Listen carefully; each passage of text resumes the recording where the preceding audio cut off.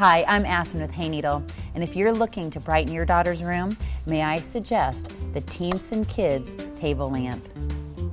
This stylish fixture is beautifully hand carved from durable MDF engineered wood, which is designed to withstand the test of time.